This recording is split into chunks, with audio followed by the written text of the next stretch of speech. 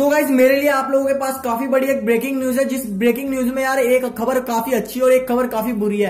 तो यार, अगर आप लोग हमारे चैनल पर पहली बार आए हो तो यार प्लीज़ चैनल को सब्सक्राइब कर लीजिए। अगर पहली बार आए हो तो प्लीज़ सब्सक्राइब कर लेना। वीडियो अच्छी लगे तो यार लाइक कर देना। और गाइज़ चैनल पर अगर आप लोग नहीं हो तो यार सब्सक्राइब किए बिना कहीं मत जाना, क्योंकि यहाँ पे डीडी फ्री से रिलेटेड वीडियोज़ में यहाँ पे अपलोड करता रहता हूँ। और डीडी फ्री के बारे में नई नई बातें और अपडेट्स आप लोगों तक पहुंचाता रहता हूँ। तो यार आप लोग देख सकते हैं, यहाँ पे हमारे डीडी फ्री में काफ़ी सारे ऐसे स्लॉट आपको ऐसे मिल जाते हैं, जो यहाँ पे खाली होती है, ठीक है?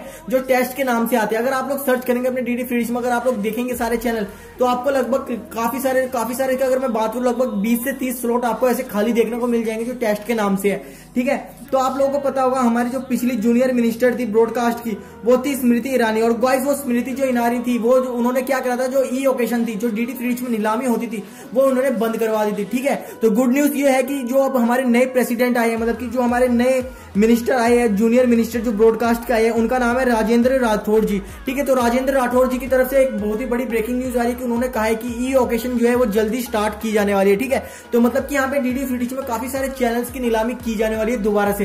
गाइस चैनल पर नहीं हो तो दोबारा क्या देता हूँ चैनल को सब्सक्राइब कर लेना वीडियो अच्छी लगे तो लाइक कर देना। और यार, अपने फैमिली फ्रेंड मेंबर कोई भी डीडी फ्री यूज़ करता हो तो यार उस तक वीडियो पहुँचा दो और उसे समझा दो।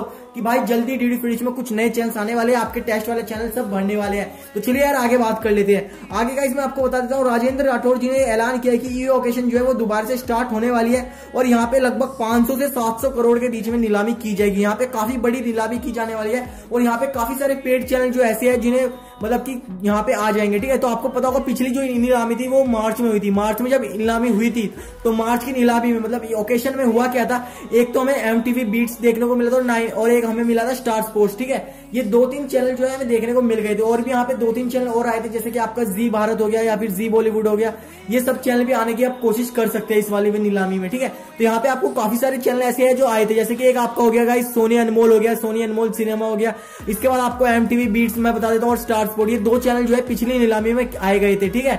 मतलब कि यहाँ पे दो तीन चैनल यहाँ पे हमें दिए गए थे जो पिछली नीलामी में आए थे हमारे पास। अब गाइस मैं आपको बता देता हूँ, यहाँ पे जो इस नीलामी में होना के वाला है, यहाँ पे काफ़ी सारे बड़े बड़े चैनल दोबारा से यहाँ पे अपनी रकम बोलेंगे और यहाँ पे जो भी चैनल इस स्लॉट को खरीद लेगा, उनके लिए यहाँ पे मतलब कि वो चैनल यहाँ पे चला के दिखाया जाने वाला है। तो यहाँ पे काफ़ी बड़ी एक ब्रेकिंग न्यूज़ और ब्रेकिंग न्यूज़ में सबसे बुरी खबर ये है कि मैंने आपको शुरू में कहा था, एक बुरी खबर है, एक अच्छी खबर है। अच्छी खबर तो मैंने आप लोगों को सुना दी कि ऑपरेशन होने वाली है दोबारा से। और गाइस वीडियो अच्छी लगे तो एक लाइक कर देना चैनल पर नहीं हो तो सब्सक्राइब कर देना यार प्लीज़ और गाइस वीडियो अच्छी लगती है तो लाइक कर देना और नीचे कमेंट में मेरे को बता देना वीडियो कैसी लगी। और गाइस आप ये भी बता देना नेक्स्ट टॉपिक आप लोग किस वीडियो पे देखना चाहते हैं। और बुरी खबर ये है कि यार ये जो नीलामी है, वो सितंबर के एंड में या फिर अक्टूबर के एंड में होएगी, ठीक है? तो मतलब कि इस महीने होएगी या फिर नेक्स्ट महीने? तो यार भगवान से दुआ करो कि यार हो सकता है कौन कौन से चैनल आ जाए। आप लोग बताए मेरे को नीचे कमेंट में कि कौन कौन से चैनल जो है आ सकते हैं इस ओकेशन में।